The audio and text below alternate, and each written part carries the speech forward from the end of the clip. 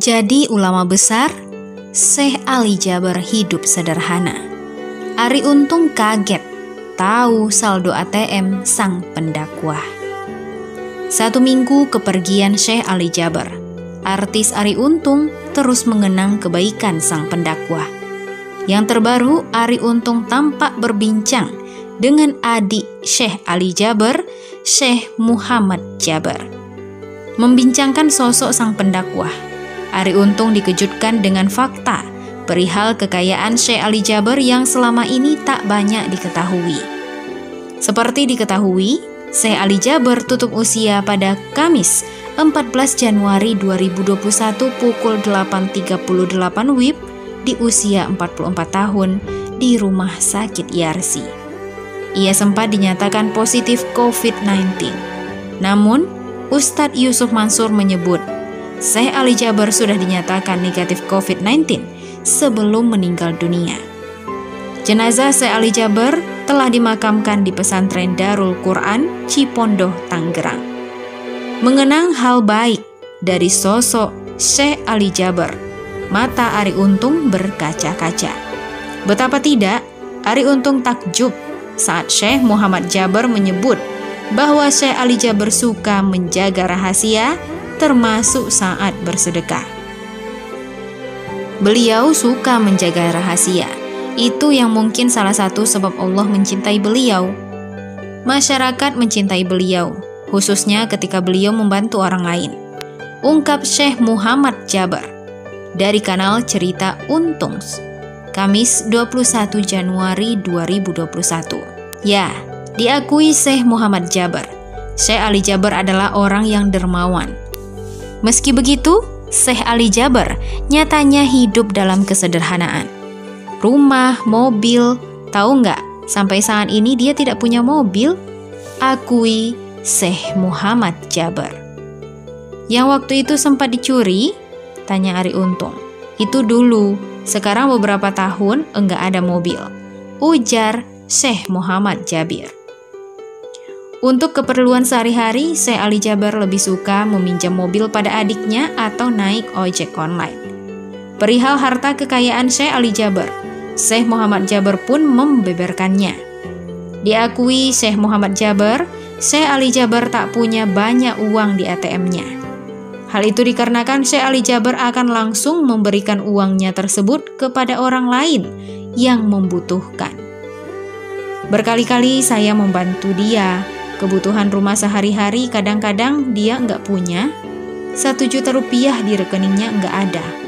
Syekh Ali Jaber suka membantu orang lain. Apa pun yang dia punya, dia bantu orang lain. Ungkap Syekh Muhammad Jaber. Oh ya, imbuh Ari Untung seraya terkejut.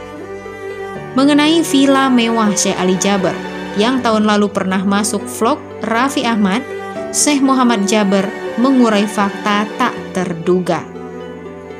Diakui Syekh Muhammad Jaber, villa mewah tersebut bukan milik Syekh Ali Jaber, melainkan punya temannya. Viral villa dia di puncak itu, banyak yang berpikir ini villa beliau, tetapi ini punya teman beliau. Dia hanya punya walaupun satu persen saham, kata Syekh Muhammad Jaber. Alasan Syekh Ali Jaber membeberkan villa tersebut di vlog Raffi Ahmad tempo hari adalah karena beliau ingin membantu villa punya temannya agar laku disewakan.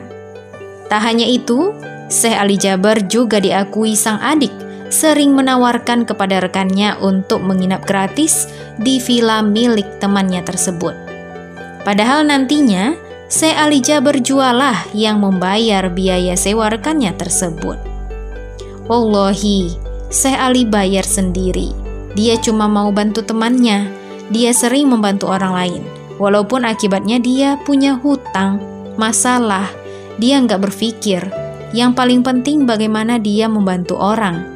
Kata Syekh Muhammad Jaber. Adapun uang hasil dari iklan atau promosi, Syekh Ali Jaber juga memperlakukannya sama dengan hartanya yang lain. Diakui Syekh Muhammad Jabar, Syekh Ali Jabar tidak pernah menyimpan hasil dari iklan tersebut. Alih-alih menumpuk hartanya, Syekh Ali Jaber lebih gemar bersedekah dan memberikannya kepada orang lain. Bahkan, ongkos atau jasa media kan biasanya ketika artis bantu iklan pasti dapat sekian. Royalty, endorse, dia enggak dapat apa pun. Ujar Syekh Muhammad Jaber. Lebih lanjut, Syekh Muhammad Jaber juga menyebutkan Syekh Ali Jaber sering meminjam uang untuk membantu temannya yang lain. Akibatnya, sang adik sering mencegah niatan Syekh Ali Jaber yang sangat baik, yakni ingin selalu membantu orang lain. Namun, meski sudah dicegah, Syekh Ali Jaber tetap membantu orang lain itu secara diam-diam tanpa diketahui siapa pun. Sering saya marah pada beliau, sering tidak sepakat dengan beliau, kata Syekh Muhammad Jabar.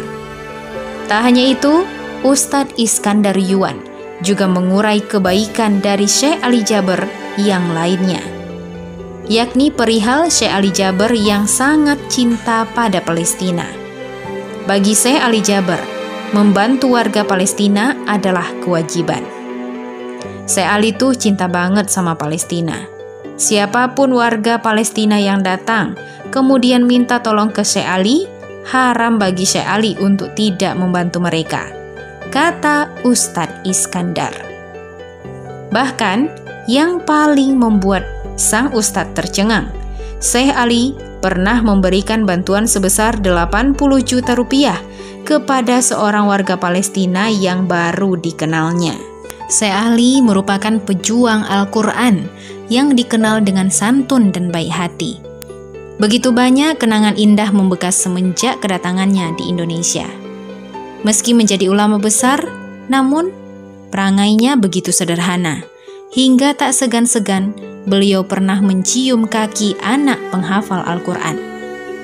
Bentuk kerendahan hati dan cintanya pada Islam begitu terpancar masih banyak kebaikan ulama berhati mulia yang satu ini sampai tak terhitung. Salah satunya juga pemulung yang jago ngaji diangkat anak oleh Syekh Ali Jaber, yaitu Muhammad Gifari Akbar atau Akbar. Sungguh mulia hatimu wahai Syekh Ali Jaber, surga tempatmu. Semoga akan banyak orang yang terinspirasi untuk meneladani kebaikanmu.